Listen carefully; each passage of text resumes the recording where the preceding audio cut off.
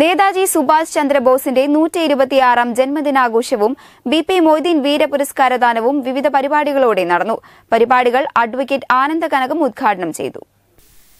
ധീരദേശാഭിമാനി നേതാജി സുഭാഷ് ചന്ദ്രബോസിന്റെ നൂറ്റി ഇരുപത്തിയാറാം ജന്മവാർഷിക ദിനം ബി പി മൊയ്തീൻ സേവാ മന്ദിറിൽ വിവിധ പരിപാടികളോടെ ആഘോഷിച്ചു.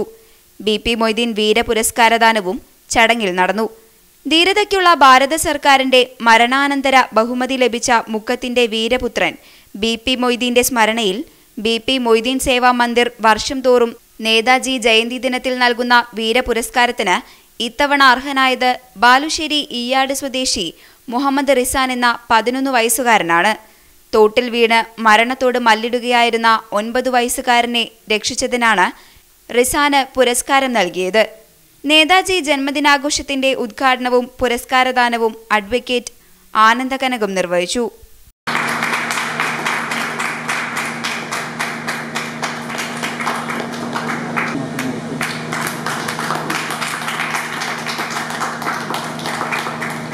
പ്രൊഫസർ ഹമീദ് ചേന്നമംഗല്ലൂർ അധ്യക്ഷത വഹിച്ചു.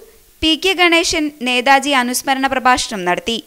മുക്കം നഗരസഭാ കൗൺസിലർ എ കല്യാണിക്കുട്ടി മുഹമ്മദ് റിസാന് ക്യാഷ് അവാർഡ് നൽകി.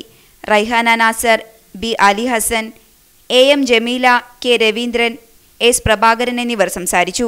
News bureau Mukkam.